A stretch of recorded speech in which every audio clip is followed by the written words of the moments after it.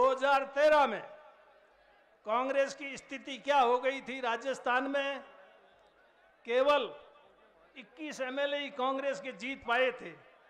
उस स्थिति में राजस्थान की कांग्रेस की संगठन की बागडोर पायलट साहब को संभलवाई थी और पायलट साहब ने पाँच साल तक जो संघर्ष किया उसका वर्णन पूरा करूँ, इतना समय नहीं है, लेकिन आप सब लोगों को पता है किस प्रकार से पाँच साल उन्होंने पूरे राजस्थान में गाँव गाँव ढाणी ढाणी घर घर घूम करके कांग्रेस को मज़बूत करने का काम किया।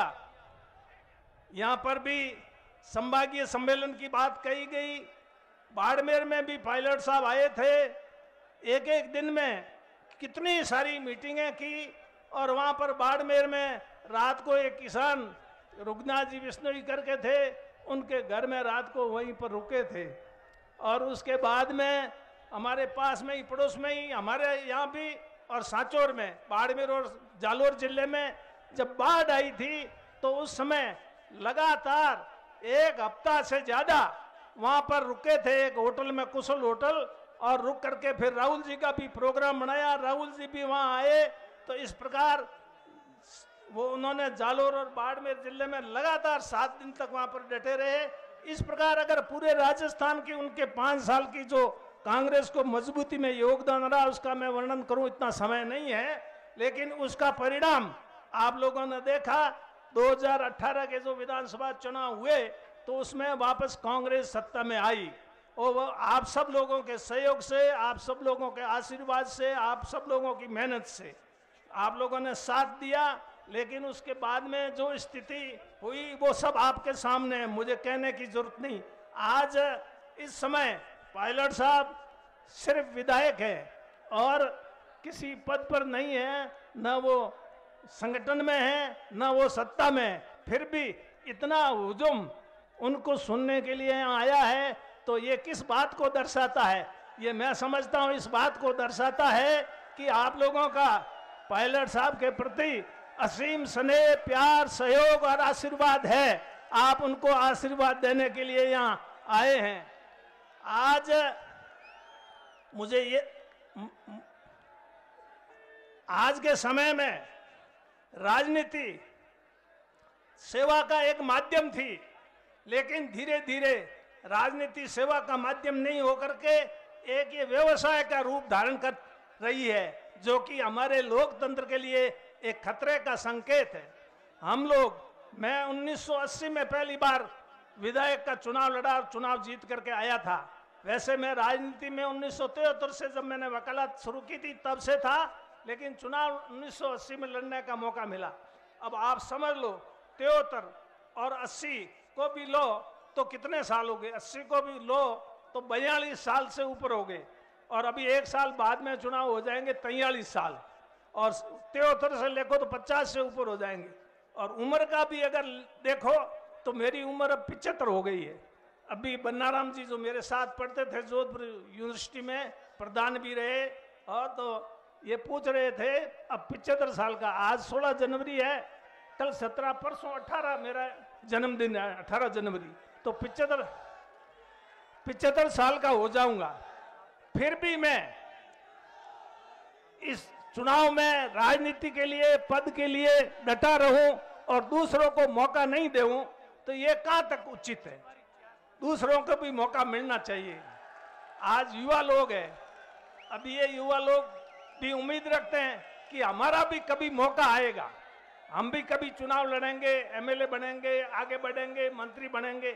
पर हम लोग अगर उनको मौका देंगे ही नहीं तो इनको मौका मिलेगा कहाँ से? आज रामनिवास जी है, मुकेश जी भाकर है, ये युवा है। इनको मौका दिया, तब तो मौका मिला। हम पुराने लोग जो 80 से सत्ता पे बैठे हैं, संगठन में हैं तो हम लोगों को विचार करने की ज़रूरत है। अगर हम लोग विचार नहीं करेंगे तो ये युवा लोग हमें धक्का मार करके कब्जा कर लेंगे। फिर उसमें क्या शान रहेगी? इसलिए इसलिए शान तो इसमें है कि हम खुद इनको मौका दे दें, उसमें हमारी शान रहेगी। मैं तो ऐसा मान करके चलता हूँ। तो इसलिए कहने को बहुत बातें हैं। अभी कह रहे थे मुकेश जी भाकर, किसानों की स्थिति कोई ज़्यादा अच्छी नहीं है। हालाँकि हम सत्ता में इसलिए हमें कह, कहने, कह नहीं सकते, लेकिन आज बिजली की स्थिति आज की तारीख में, बिजली के हालात क्या है? लोगों के मेरे पास फ़ोन आते हैं, बिजली नहीं मिल रही है। किसानों की फ़सलें जल रही है, किसानों ने फ़सलें बो दी तो आखिरी इसका इंतज़ाम कौन करेगा? या तो पहले बता देते कि आपको बिजली नहीं मिलेगी तो वो बुआई नहीं करते। उन्होंने बुआई कर दी, सारा खर्चा कर दिया, और आज बिजली नहीं मिल रही है तो किसानों की क्या हालत? इस तरह की अगर ऐसी बात है तो इसके लिए किसानों को, सबको, आपको एकजुट होना पड़ेगा। अगर आप एकजुट होकर के अपनी समस्याओं के समाधान के लिए संघर्ष नहीं करेंगे तो आपकी जो है समस्याओं का समाधान मुश्किल होगा।